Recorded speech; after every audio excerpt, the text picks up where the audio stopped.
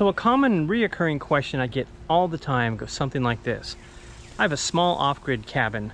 What does it take to run an air conditioner? How do I keep it cool using a solar setup? So today, it's nice and hot. It's beautiful Oklahoma day. So let's put that through the test.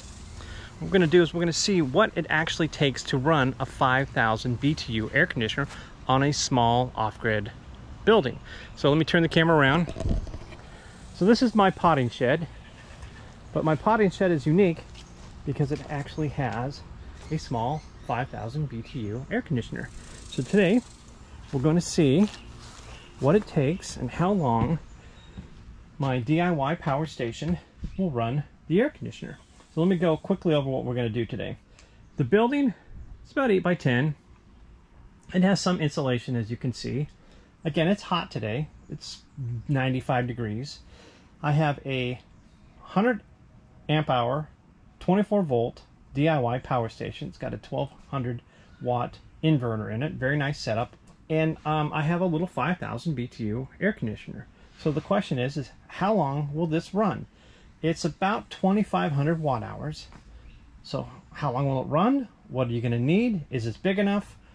Let's talk about all of that. So first of all, what we're going to do is I have my Kill A Watt hooked up to it. So this will tell us how long it ran, um, how much juice it used, um, tell us all the information that we're going to need. So I've already turned it on. I'm going to come over here and I'm going to set this thing. Oh, before I begin, let's see. It's 83 degrees in here. Again, it's 95-ish degrees outside. Not exactly sure, but somewhere in that vicinity. So I'm going to turn my old air conditioner on and I'm going to set it to 75 degrees. And we'll see how long it takes. And you can see this one says 82 degrees. My other thermometer says 83, so they're pretty close. I've set it to, um, let's change the mode to cool. And we're gonna set this to high. I've set it to 75 degrees and we'll see how long it lasts, how many hours it lasts, and then at the end I'll give a recap and we'll give a real life demo of what it actually takes to run a 5000 BTU air conditioner, what you're actually going to need to do it in a small off-grid cabin. And then from there you can adjust this, you know, to your size cabin. But again, this is about an 8 by 10 cabin. So a little bit of insulation. So there we go. We'll keep checking back. We'll see what we get. So the test has only been going for a few minutes. You can see it's already dropped it down to 78 degrees. My Bluetooth on the battery inside my power station says we're using about 480 watts. So, so far so good. Everything's smooth. Um, we'll keep checking back and we'll see how it does. So a quick update, I've gone back through and I've actually changed this to Eco. Uh, that should actually help the longevity of the whole setup. So I just wanted to let everyone know I did that. Well, I didn't get here in time, but I can still tell you what I saw. So the air conditioner had gotten to temperature and had powered off because it's on eco now. And the power station had gone down to just a few watts. Uh, fortunately I was able to grab a screen capture on my Bluetooth so you can see what I'm talking about. So that really will help our test here. If uh, this air conditioner can hold the temperature uh, that means that the you know the battery will last a lot longer. So quick update for now. Um, the less this thing runs you know of course the longer the battery will last. So we'll check back. There we are, it's the next morning and the power station still has juice in it. So I'm very pleasantly surprised that it ran all afternoon and all night. So it's about 20% left, so it should run out pretty soon.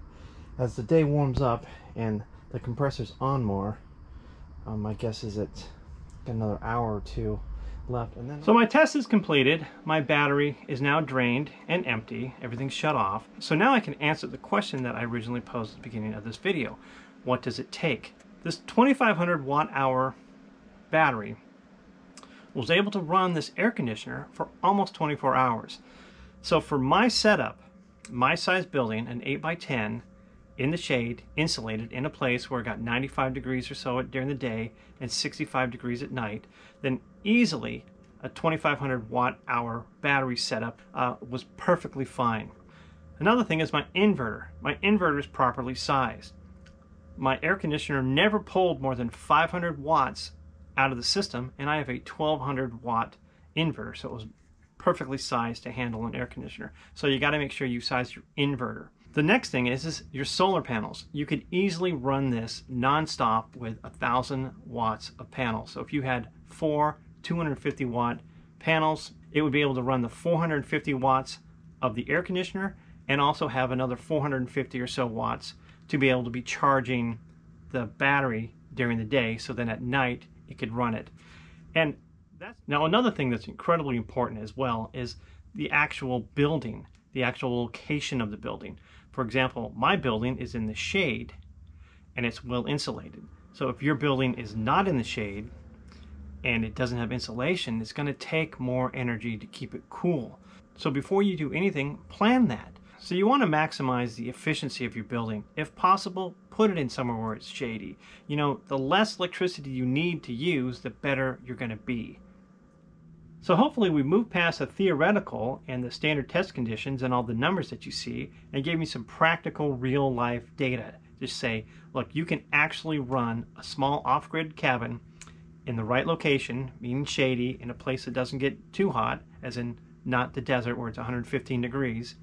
You can actually run it with a 2500 watt hour battery setup, a 1200 watt inverter, and probably a thousand watts or so of solar panels. So you can do it. You can do it pretty easily. So if anyone has any questions, please leave a comment below. Uh, as always, like, comment, share, subscribe. Uh, thanks for watching, and I will talk to everyone next time.